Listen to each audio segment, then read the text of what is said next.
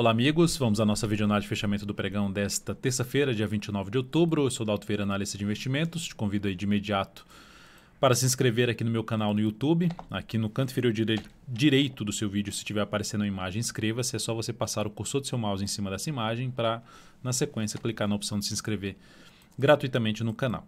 E para que você receba as recomendações de compra e venda no seu celular, no seu desktop, em tempo real, as carteiras de ações, as informações relevantes durante cada pregão, é só você clicar aqui no card que está aparecendo para você e seguir os procedimentos para que você possa testar esse serviço de forma gratuita durante um determinado período. Então, na análise de hoje, eu vou falar sobre Ibovespa, futuros mini e mini dólar. Depois eu venho para as ações falando de PTR4, Vale 3, BBAS3, Multi 3, SBSP3, B3CA3, MGLU3 e BTOW3. Começando pelo Ibov, dia de queda, queda de 0,58%. Ibovespa oscilou abaixo da mínima do pregão anterior, que era de 107,362, a mínima ficou aqui em 107,313. Isso é um, um novo sinal para se ter um movimento de correção no, Ibove, no Ibovespa, um movimento de baixa, e que poderia buscar justamente a média móvel exponencial de 13 períodos, que nesse momento está em 106, 164. Abaixo desse. Primeiro tem um suporte ali intermediário na faixa dos 107 mil pontos, arredondando. Aí depois disso, fica mais ali para a região de topos anteriores, antiga o antigo topo ali na faixa de 106 mil pontos, lembrando que tem uma máxima histórica lá na faixa de 106, 650, que também tende a funcionar como patamar de suporte. E abaixo disso seria uma região mais dentro ali do 105, 319. São os suportes mais próximos para o índice. Aumentará ainda mais a probabilidade de se ter essa correção se perder a mínima de hoje, localizada justamente em 107, 313. No mini índice, lembrando se essa videonata estiver sendo útil para você de alguma forma, dê um like, dê um joinha, eu agradeço de imediato. No mini índice nós temos aqui uma sinalização de topo, apesar de ser um topo contra a tendência ainda de alto de curto prazo, de médio prazo também. Mas olhando para o gráfico de 60 minutos, nós já temos aqui uma tendência de baixa, topos e fundos descendentes. Desta forma, mantendo-se dentro desse movimento de baixa do G60, fica mais para se buscar a operação de venda de topo descendente ou de pivô de baixa no gráfico de 10 ou de 5 minutos. Ou seja, se abrir caindo, fica mais para se buscar a operação na ponta vendedora. Para se buscar a operação de compra, o ideal seria uma hora de pregão vindo aqui para cima dessa região, ou seja, abre subindo e já volta a trabalhar acima de um patamar aqui que tende agora a funcionar como resistência, uma região de 108.290 pontos. Então, abriu subindo, veio para cima desse patamar, passou a gerar fundo ascendente preferencialmente acima do 108,290, fica mais para se buscar a operação na ponta compradora.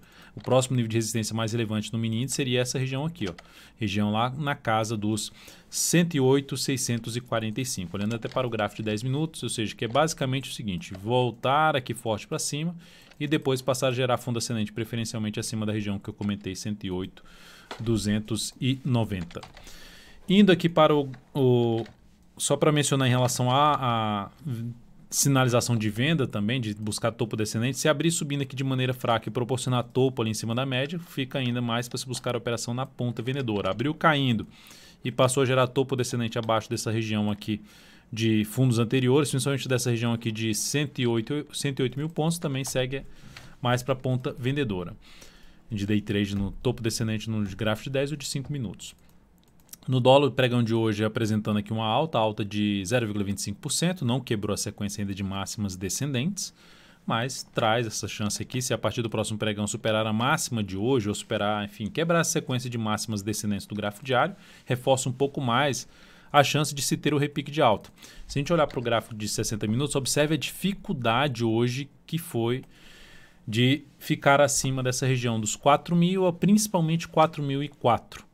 E o pior foi o seguinte: foi abrir o pregão já gerando sinal de topo, mas não gerou topo descendente para fazer venda no gráfico de 10 minutos, para fazer venda de day trade.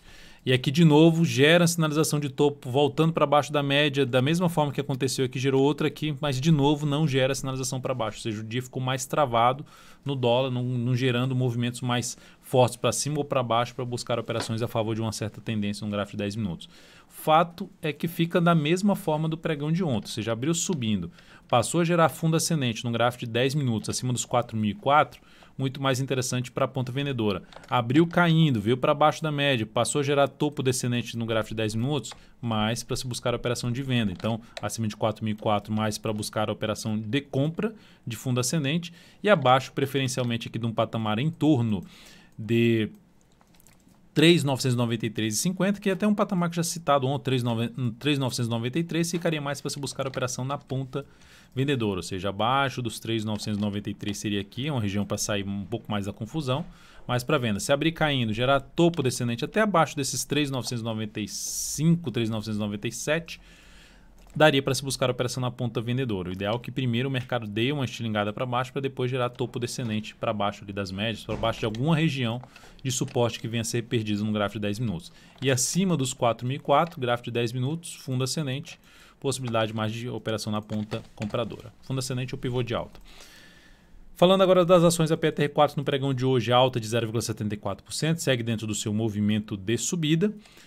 Aqui em boa, em boa alta a PTR4 sem sinalização para baixo. A sinalização para baixo seria a perda da mínima do pregão de hoje, que está localizada em R$ 29,26.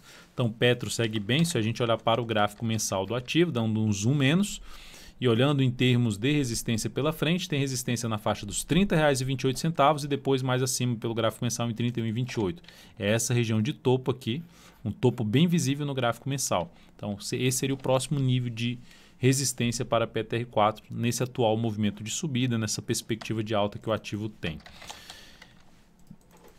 Indo para, lembrando, se alguém tiver, para quem está comprado no curto prazo, o stop pode ficar abaixo da mínima de hoje, em R$ 29,25. Na Vale 3, o dia de hoje foi um dia de estabilidade, menos 0,1%, perdeu a mínima do pregão anterior, mas não andou muito forte para baixo. O que mais me chama atenção na Vale 3 seria o gráfico de 60 minutos que é essa lateralização aqui. Ó.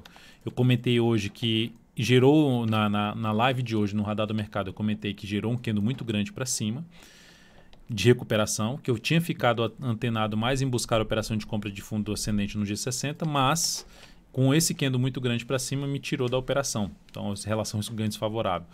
Só que me chama atenção porque não andou mais agora, a partir desse momento, se romper essa região que fica a possibilidade de se buscar uma compra de rompimento trabalhando com stop mais curto, seja abaixo da mínima do candle que gerar rompimento, se for numa primeira hora de pregão, ou abaixo dessa mínima desse fundo aqui, ou seja, abaixo ali dos 48, 48, os 48, 49, ou seja, se ficaria em 48, 48 o stop, é uma das formas de trabalhar com uma operação mais curta na Vale 3, na expectativa de que ela faça esse rompimento, que é uma resistência aqui também para trás, dois topos aqui, e ela vai buscar uma região de fechamento de gap lá na casa dos 49,66 a 49,79. Banco do Brasil, seguimos na ponta compradora, o stop pode ficar abaixo da mínima do pregão de hoje a partir do próximo pregão em R$ 48,45. Essa seria basicamente a única alteração. Até chegou próximo do objetivo da, da operação, bateu em 49,11, mas enfim, terminou o pregão de hoje com queda de 0,27%. O que, que seria bom para a nossa posição? O papel gerar um fundo ascendente aqui no G60 e caminhar aqui para cima, gerar um novo pivô de alto, podendo até tentar buscar um algo mais para cima em termos de objetivo. Mas o, e o lado negativo seria abrir caindo, perdendo essa região aqui, que é a região de topo anterior, que se perder aumentará a probabilidade de queda, visto que até pelo gráfico diário gera ali um candle de perda de força por parte dos compradores e aumentaria a chance de se ter alguma correção no gráfico diário, na correção aí dentro da sua atual tendência de alta de curto prazo, Banco do Brasil. Multi 3 acionou a nossa saída, a ação abriu bem o pregão de hoje, abriu aqui em cima superando essas máximas, mas perdeu já força na primeira hora de pregão, muito forte para baixo primeira hora de pregão, e acionou a nossa saída. Essa operação então trouxe aqui uma perda de 1,56%. Isso representou uma redução de 0,34% do capital total nesta operação. Seguindo aqui temos Sabesp para comentar que ter, terminou o pregão bem com alta de 1,14% e proporcionando um candle chamado aqui de engolfo de alta. Porque eu não busquei uma compra em, é, em Sabesp, em SBSP3, visto que o papel está dentro de uma tendência de alta de curto prazo, por conta do tamanho do candle. Onde ficaria o stop? O stop ficaria abaixo da mínima de hoje, ficaria em 51,53. E a entrada seria ali por volta dos 52,93. Então, se eu pegar o Fibonacci aqui, só o Fibonacci, pegar só fazendo a projeção desse tamanho de stop aqui para cima, a projeção de 1 para 1, ou seja, o tamanho do risco dessa operação, que seria até só considerando 52,92 entrada e stop aqui, se considerar um centavo acima, um centavo abaixo, isso aqui ainda vai estender um pouco mais para cima. Então, o fato que 1 para 1 já ultrapassaria essa máxima aqui, ou seja, a relação ganho desfavorável em relação ao topo anterior. Então, por esse motivo que me tirou dessa entrada. Mas para quem está dentro de alguma compra em Sabesp, em SBSP3, o stop ficaria aqui, fica aqui em R$ 51,53 se essa operação for de curto prazo. Dependendo do que acontecer no próximo pregão e gerar alguma oportunidade de trabalhar com stop mais curto pelo G60, seria uma das alternativas de entrada em cima do papel que está dentro de uma tendência de alta, dentro do movimento de subida também no gráfico semanal, ou seja, dentro de uma tendência de alta no gráfico semanal.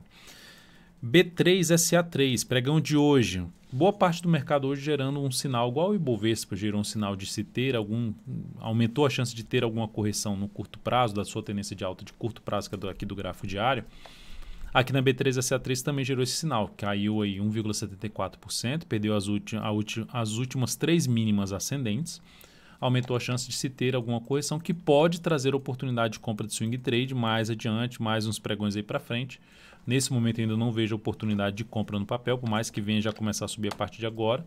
Mas aguardaria algo mais aqui para ter uma melhor relação risco-ganho, um afastamento um pouco maior do topo, para buscar uma compra aí de swing trade em cima da B3SA3. Olhando para o gráfico semanal do ativo, ainda dentro de uma boa tendência de alta, dentro de um bom movimento de alta pelo gráfico semanal, por isso que chama a atenção justamente de olhar aqui com carinho nesse movimento atual de baixa, se ele se estender para a média ali principalmente, para buscar uma compra, planejar uma compra em B3SA3 de curto prazo.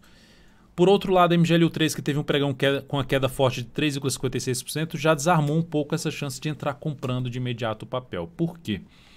Porque pelo gráfico semanal, o papel que está dentro de uma tendência de alta de médio prazo já vai confirmando que um movimento de baixa contra um movimento de alta, ou seja, faz sentido. O papel já fez um movimento de subida e faz uma correção, faz outro movimento de subida e está fazendo agora um processo de correção.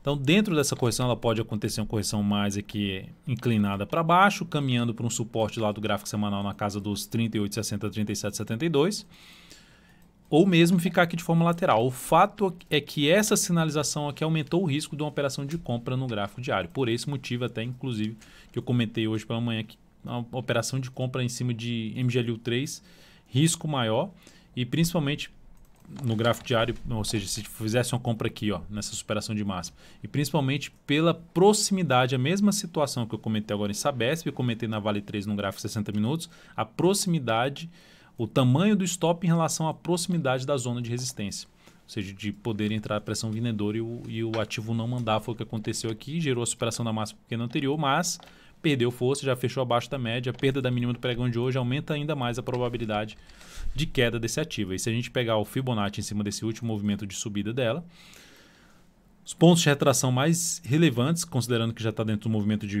de baixa de um gráfico semanal, seriam aqui na faixa dos R$ 39,95, 40 reais principalmente, a R$ 38,98 ou 39 reais. Enfim, entrou nessa região aqui, aí dá para começar a ficar mais atento para se buscar uma compra mais afastado possível do topo, mesmo que já seja uma compra com apresentando um viés de baixa ali no gráfico semanal, no gráfico diário, mas já pelo menos um afastamento maior do topo traz a possibilidade de avaliar essa compra numa zona de suporte mais abaixo para Magazine Luiza.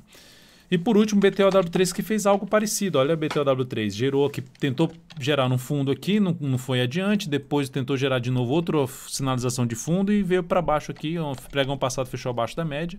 Hoje abriu aqui em cima e já perdeu a, a, a mínima do que no anterior, que estava abaixo da média aumentando a chance de se ter correção. Quando eu falo algo parecido, é no sentido do gráfico semanal. Movimento longo para cima, perda de mínima do. Tá, já está com candles descendentes no gráfico semanal, aumentando a probabilidade de se ter correção e, consequentemente, das operações do gráfico diário ficarem piores, vamos dizer assim, com, com risco maior. Qual é a zona de suporte mais interessante, assim como fiz na MGLU3? A região de suporte mais interessante para buscar planejar compra 50,29 a 49,32. Essa faixa aqui desse topo anterior. Então, ou seja, quanto mais invadir essa região, seja pelo gráfico semanal ou pelo gráfico diário, mais interessante seria para se buscar a operação de compra através de algum fundo ascendente. Né? Porque o papel vem basicamente estendendo aqui o movimento de baixo. Então, por enquanto, eu não vejo um sinal de compra nem em MGLU3, nem na BTW3, ambos os ativos enquanto o mercado não mostrar nada diferente disso, caminha, aumenta, aumentar a probabilidade de se ter algo mais para baixo e, consequentemente, de buscar uma entrada um pouco mais abaixo nesses papéis. Então é isso, amigos. Muitíssimo grato por sua valiosa atenção. Lembre-se de deixar seu like, seu joinha aqui nessa videoanálise. Um grande abraço e até o próximo pregão.